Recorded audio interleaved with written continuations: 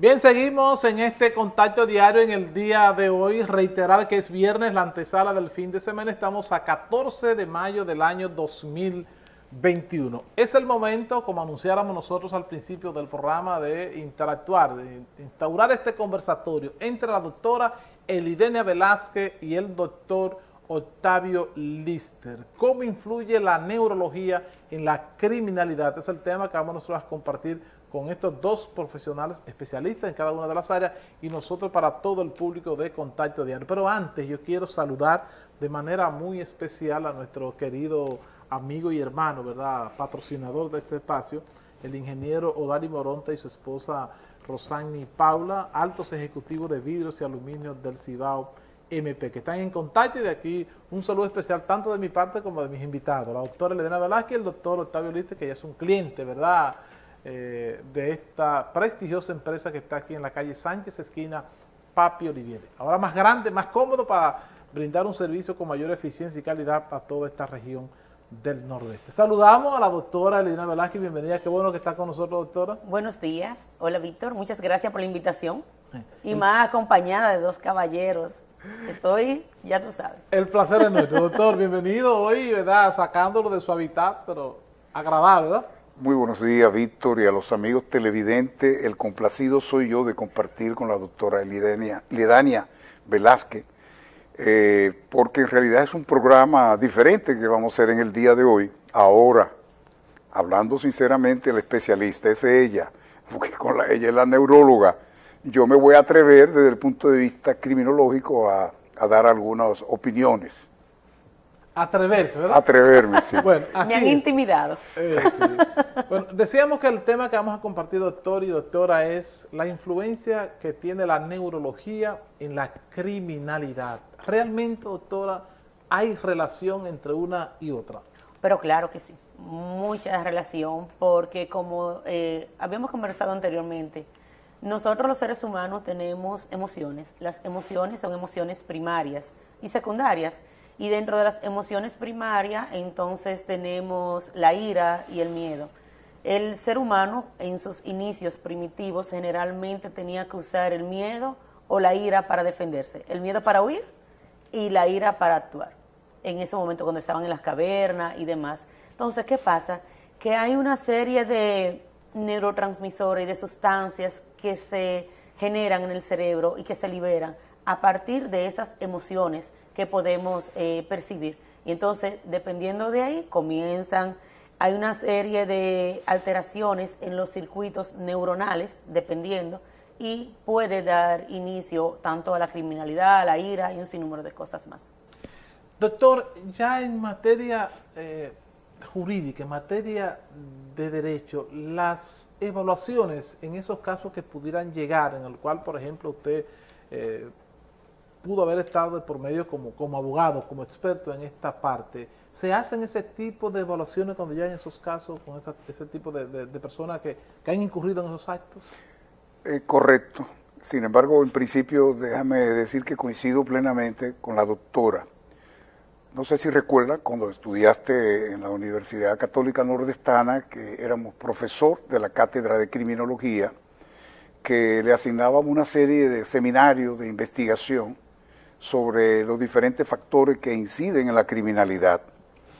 Y por eso hablamos de la drogadicción, de, la, fenómenos culturales como la brujería, el curanderismo, todas esas cosas.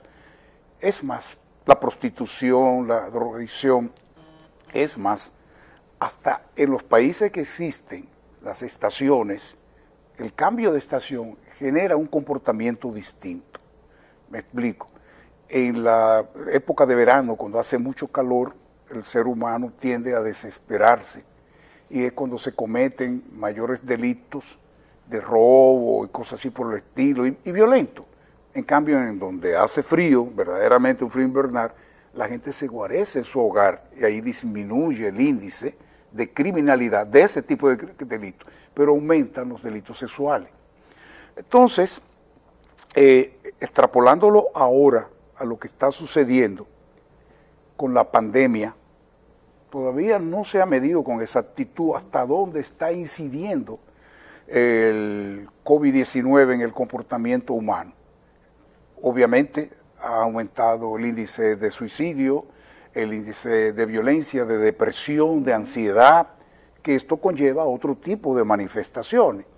Entonces, eh, obviamente que con todo esto que está ocurriendo, fíjate, no es en República Dominicana, es en el mundo entero donde el ser humano no quiere estar confinado, ni siquiera por su bien, en el hogar, con los toques de queda, con las restricciones, y por eso que tú ves que aquí hacen lo que llaman el teteo, que yo no he podido saber en qué consiste, para mí eso es una orgía, como persona mayor, pero en Estados Unidos, en Europa, en cualquier parte, tienen problemas para controlar ese tipo de conducta. Porque si tú quieres que alguien haga algo, prohíbeselo. Y es cuando quiere hacerlo, por eso quiere violar la ley, porque su condición humana le indica que le está restringiendo su libertad, sobre todo ahora en una época que el concepto de libertad es demasiado amplio y lo convierte en libertinaje.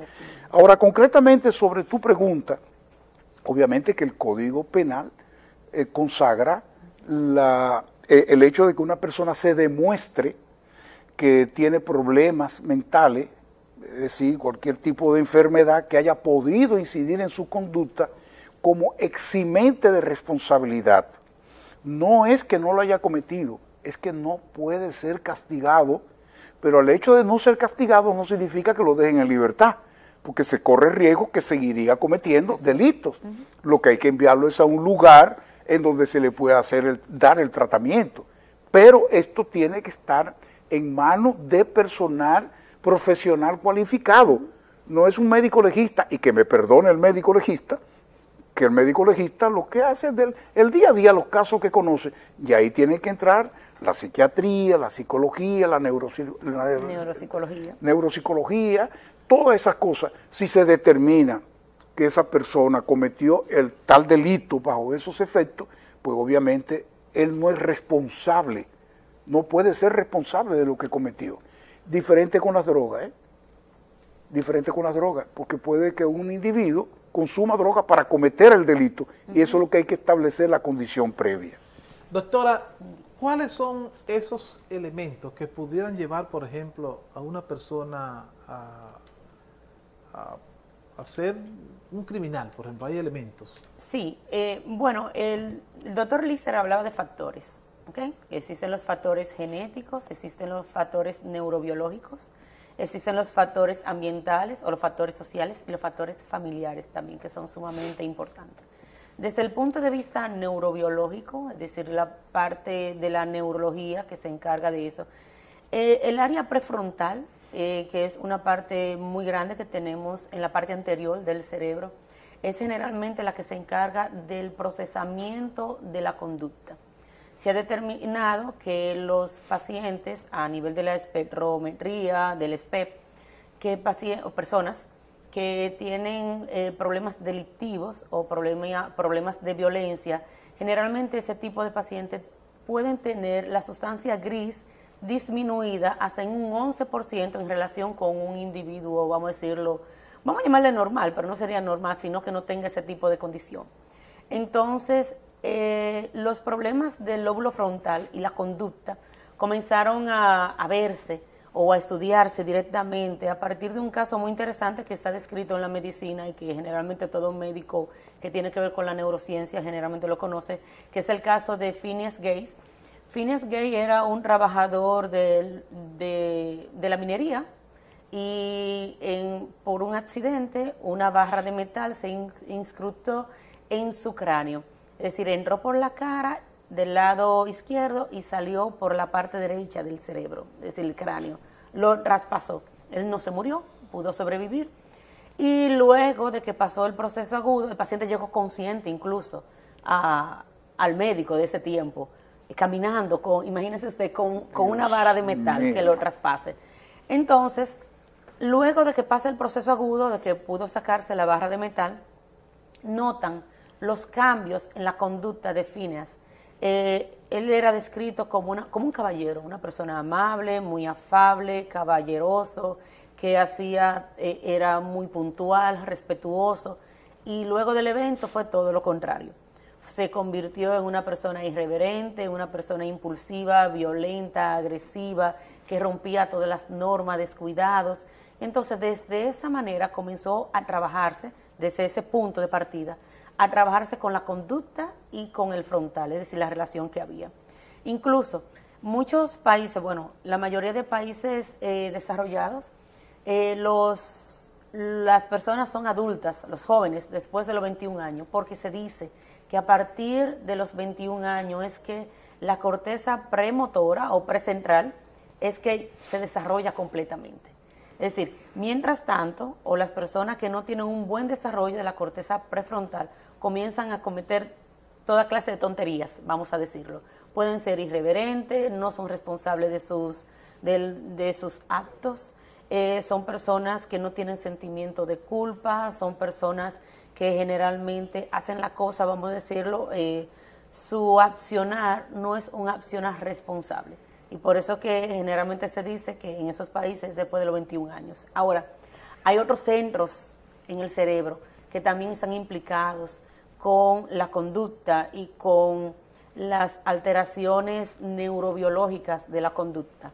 Está el tálamo, está el hipotálamo, que es donde surgen todas las respuestas autonómicas de las emociones. Cuando me refiero a respuestas autonómicas de las emociones, por ejemplo, cuando una persona se aira, es decir, se enoja, lo primero que pasa generalmente aumenta la frecuencia cardíaca, que hablábamos de eso ahorita.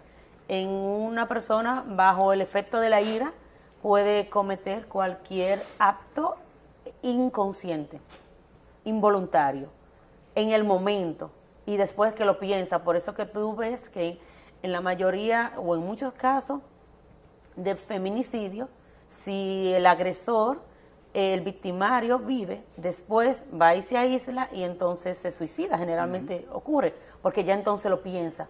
En el momento de la ira dice, perdió la cabeza. ¿Por qué? Aumentó la frecuencia cardíaca, aumentó la frecuencia respiratoria, los músculos todos se tensaron, hubo una gran liberación de cortisol, adrenalina, noradrenalina y el paciente, la persona, perdón, se pone como enseguecido, pierde la cabeza y actúa, hace cosas que posteriormente se arrepiente. Eso es muy diferente, por ejemplo, a los pacientes que son sociópatas o psicópatas, en donde ese tipo de persona comete el acto y no se arrepiente. No sé si recuerdan el caso, no, no recuerdo ahora el nombre de las personas, de el, individuo que primero ejecutó a los tres niños que no eran hijos de él y luego a la madre. O primero a la madre y luego a los niños, lo fue uno a uno lo fue ejecutando, que era la persona que tenía el pelo largo. ¿Te acuerdas, Víctor? de, Santo Domingo. De Santo Domingo. tenía un apodo, el chafra, qué sé yo, algo así. Como, estaba como mezclado la cultura, el arte y la cultura. Sí, sí, sí, Fue, fue muy horrendo ese caso. Y si tú pones a ver eh, los documentales, la noticia, esa persona en su mirada nunca se ve arrepentido, nunca se ve como que, ¿qué fue lo que hice? No, para nada. Doctor eh, Lister, ¿tiene el país, por ejemplo, el sistema de justicia? Porque eh, yo oigo a la doctora describiendo una serie de, asuntos, ¿verdad? Muy, muy, con mucha sapiencia, ¿verdad? Y muchos conocimientos. ¿Tiene, por ejemplo, el país la capacidad para cuando se dan situaciones como esta, eh, poder utilizar esos mecanismos de que un, especialista pueda evaluar, hacer las evaluaciones de por qué un individuo, por ejemplo, comete un crimen. Por ejemplo, cuando se están dilucidando o se están dilucidando estos casos ya en nuestra justicia, en el país, ¿tiene el país la capacidad para eso? Profesionalmente sí. Aquí hay profesionales muy, pero muy eh, preparados. Bueno, verbigracia, la doctora como la forma que ella está hablando, conoce bien su área. Pero como Ahora, institucionalmente, no. Por eso es, hablaba ahorita de los médicos legistas, que son médicos generales, debieran ser patólogos, ¿verdad? Porque son los que practican la necropsia y, y obviamente ya lo llevan al INASIF, que es el Instituto Nacional de Ciencia Forense, para hacerle la necropsia y buscar cuál fue verdaderamente la causa de la muerte porque una persona que aparezca con una puñalada necesariamente no, no pudo haber muerto de eso, o intoxicado y después se demuestra, como por ejemplo, yo recuerdo mis estudios en Colombia, que le revisaban siempre detrás de la oreja cuando se trataba de la muerte de un recién nacido, porque le incrustan una aguja por aquí que no deja señales y le perforan el cerebro. Entonces, eh, por eso lo que se acostumbra es nombrar una comisión que la designa el mismo Colegio Dominicano Médico o el, de, los eh, psiquiatras, etcétera, ellos son los que seleccionan cuáles son esas personas. Pero no hay una institución exclusivamente para tratar esos casos. Como decía la doctora, eh, la conducta criminal, la criminalidad, obedece a factores tanto endógenos como exógenos. Necesariamente no significa que si el papá es criminal o es alcohólico, así va a ser el hijo, o viceversa. Eh, pero el ambiental tiene mucha incidencia. En nuestro país, casi todo, en el, te estoy hablando en el, en el burgo, en la gente del pueblo, casi todo el que tiene una afección mental lo tildan de loco. Por eso antes a los del síndrome de Down le decían que era un loquito, y no es así. Son niños especiales, como se ha venido ahora eh, etiquetando, pero eso hay que analizar cada caso. No hay dos casos iguales. Entonces, en un, por ejemplo, en, como la referencia nuestra a Estados Unidos, la justicia de Estados Unidos, pero allá se juega mucho con declarar a una persona incompetente para mandarlo a un frenocomio criminal. Eso, le iba a decir, perdón que le interrumpa, ¿en qué podría, por ejemplo, beneficiar hacer este tipo de experticio cuando una persona comete un crimen y se, y se pudiese, que tuviésemos Usted dice, sí, tenemos la capacidad, tenemos lo profesional. Ahora, el sistema de justicia tal vez no funciona de la manera que debiera funcionar para que salgan ese tipo de experticio. Por ejemplo, eh, cuando llega una persona, un criminal, porque ha cometido un crimen, valga la redundancia, y se hacen todo este tipo de experticios, de investigaciones, ¿no podría eso hacerse para lograr, por ejemplo, conseguir tal vez una, una pena más más sencilla después que se hacen todo este tipo de evaluaciones. Ah, mira, lo que pasa es que este señor, este individuo, hizo eso por, por las razones que está explicando, por ejemplo, la doctora, y conseguir una sanción más, eh, eh, eh, qué sé yo, más ligera. Más ligera, por ejemplo. ¿No podría eso? ¿En qué nos beneficia que, se hiciera esa, que, eso se hiciera así? Mira, es un gran riesgo que se corre. Por eso, obligatoriamente, el juez, los abogados tienen que basarse en las ciencias médicas, la ciencia de la salud mental, para establecer con con absoluta eh, eh, veracidad de qué está padeciendo el individuo. Yo te dije, les dije a los amigos televidentes hace un momento que exime de responsabilidad, pero eso no significa que si la persona después recupera completamente eh, su sanidad mental y se demuestra que lo hizo, porque hay personas que teniendo problemas mentales cometen el delito. Hay otras personas, como decía la doctora, que reaccionan después y es posible que entonces el suicida que acaba de cometer un feminicidio, ¿verdad? Su reacción es, se encuentra bloqueado en lo que hace que se suicida. Y ojo, ¿eh? cuando una persona mata a la mujer y después se mata a él, ya aquí no le interesa. Al contrario, hay que darle seguimiento a esos casos para ver cómo... Porque vienen otros detrás. Correcto. Ahora bien, ahora bien, eh, por ejemplo, en Estados Unidos, cuando una persona se declara que no es estaba, o sea, no está apto para ser juzgado ni nada, lo mandan a una institución especializada, pero corren el riesgo que entonces se vuelvan realmente dementes en esos lugares, porque ahí está eh, un contacto permanente, es decir, ¿qué es lo que está viendo en su medio? Eh, él, cree que el único que, que tiene problemas es él, y termina. ¿No se recuerdan la película Atrapado, Atrapado sin salida con Jack Nicholson?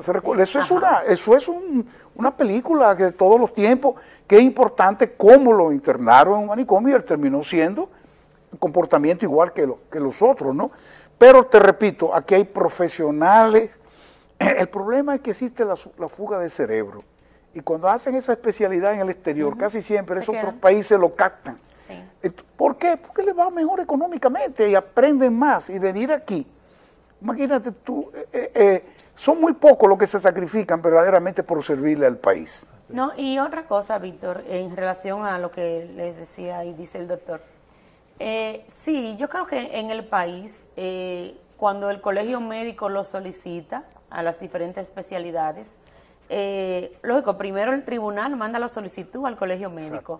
Y el colegio médico, entonces, dependiendo de la especialidad que sea, eh, selecciona eh, a su personal para actuar en esos casos de peritaje. Yo creo que sí que se hace el trabajo. Ahora, lo, lo que vendría es lo que viene después.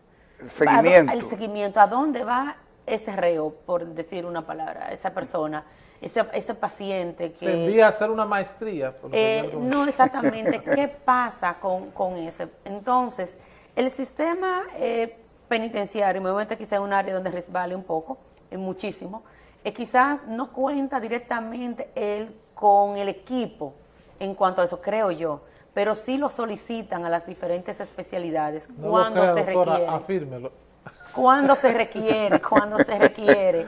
Entonces, Ahora, eh, en el caso ya de un paciente o psiquiátrico o sociópata, es difícil porque se incorpora en una cárcel donde están todos. No están clasificados, no sé si el, doctor me podría ayudar con eso. No, son, no están clasificados.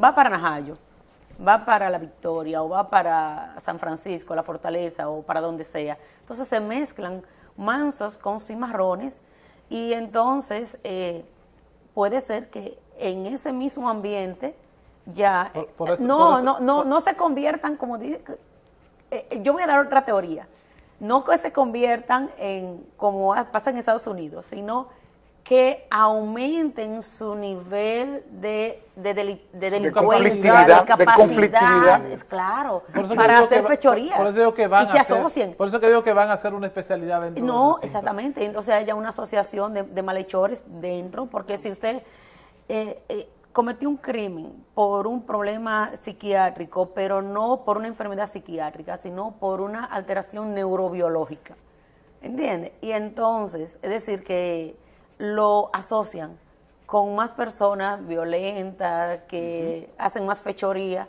usted lo que va a hacer es un... a fortalecer. claro, fortalecer, es una simbiosis. Sí, pero... Vamos, doctor, eh, perdón, vamos, a una, vamos con su anuencia, vamos a hacer una breve pausa para regreso a seguir nosotros este interesantísimo conversatorio con el doctor Octavio Lister y la doctora Elidenia Velázquez. Así que vamos a una pausa, vamos a una pausa y regreso pues seguimos con este conversatorio. Hoy, viernes, la antesala del fin de semana aquí en Contacto Diario. Así que no le cambie que en breve regresamos.